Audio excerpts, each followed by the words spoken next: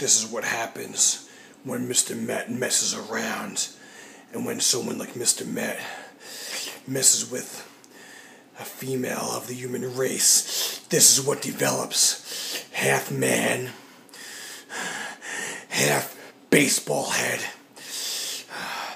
Mr. Met is my biological father, but I will get him for this. The torment and the torture that I go through day after day, and I look like this. For what?